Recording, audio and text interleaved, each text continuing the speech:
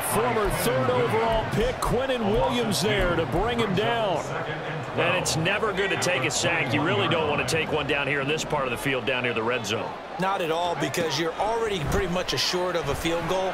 But you take a big sack, it could push you. Oh, it's intercepted. They got Pickett for the third time in this game.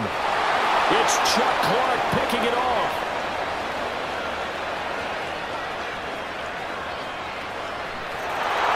He'll take this all the way down to the 27. Good effort.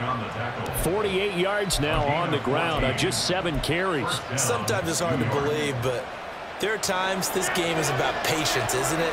Has had the game he expected, but that run there, that may get him going. I was just going to say, maybe that gives him a little juice because you're right, he struggled, especially in that first half. Yeah, and I know the great ones always think to the... And he's going to take it in for a Jets touchdown.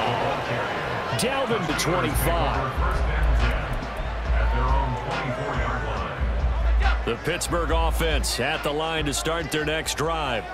Well, the opposition laid down the challenge and opening drive touchdown here to start the second half. And, Charles, now you feel like this group needs to get an answer because this all of a sudden is a two-score game.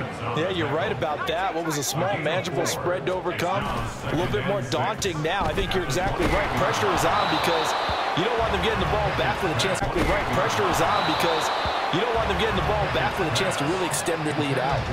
They try to throw on second down, but this one is incomplete. So another incompletion there. He's hitting on fewer than half his pass attempts in this one, and that is not a winning formula. Yeah, so let's make sure we give a little bit of credit to the defense here. They've given him a lot to think about, a lot of different looks, and he seems a little bit confused trying to complete passes. Well, the Jets pressure too much as down he well, the Jets pressure too much as down he goes. Now a timeout called for by the offense.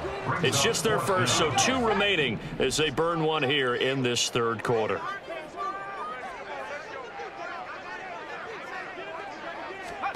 Going for it on fourth down. Here's Pickett. He's going to let this one go deep.